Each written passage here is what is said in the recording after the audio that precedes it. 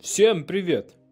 И сегодня я покажу, как сделать мандулу своими руками с помощью дрельки. Очень интересно будет.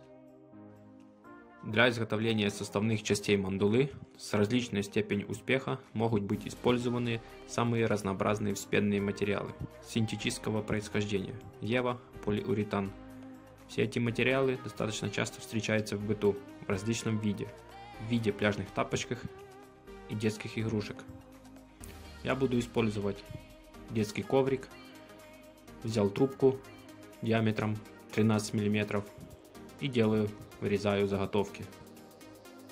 Получились такие кружки.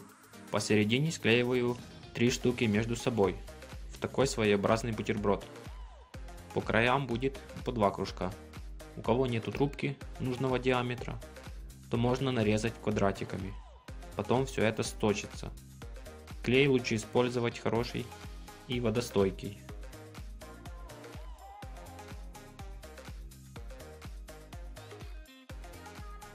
Дальше взял дрельку и сверло 3 мм и аккуратно накрутил заготовку.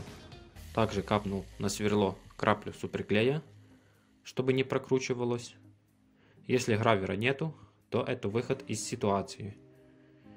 И зашлифовываю, придаю форму. Таким же самым способом придаю форму остальным частям приманки. По краям сделаю немного конусообразными. На сдачку использую мелкой фракции, а точнее сотку. Дальше беру проволоку 0,9 мм и загинаю вдвое с одной стороны. Лучше всего брать стальную нержавеющуюся. Согнул проволоку и прикладываю к средней детали будущей приманки. Измеряю и фиксирую плоскогубцами. Круглогубцев, к сожалению, у меня нету. Сгинаю с другой стороны в обратную сторону.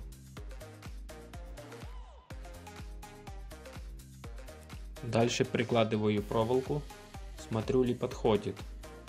Вот так вот будет нормально. Затем проволоку можно отложить. Берем люрекс, у меня будет красная нить, и складываю несколько раз.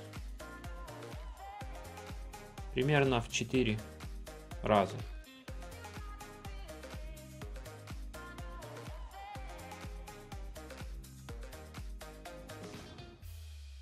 И просаживаю в ушко тройника.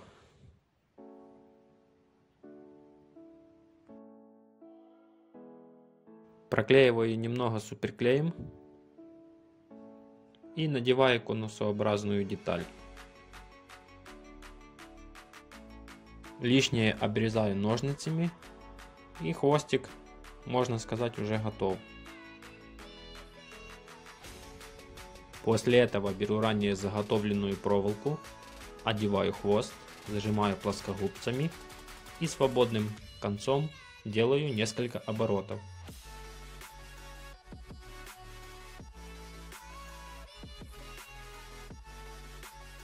Примерно так должно получиться. Вторым концом тоже обмотал. Аккуратно просаживаю проволоку через материал. Не спеша прокручиваю, чтобы ничего не испортить. И смотрю, как получилось. Отлично, отлично. Осталось совсем немного. Прикрепить второй тройник предварительно согнул проволоку в такой способ. Думаю, понятно будет. И просто обмотать вокруг тройника. На камеру неудобно, включусь уже, так сделаю. В общем, прикрепил таким вот образом. Никакая рыба не оторвет. Остается одеть верхушку айсберга и посмотреть, как она ведет себя под водой. Так, не спеша докрутил. Все, готово. Получилась такая мандула. И устроим небольшой тест-драйв. Смотрим, как работает. Довольно неплохо. Кому понравилось, подписывайтесь, ставьте лайки. Всем пока.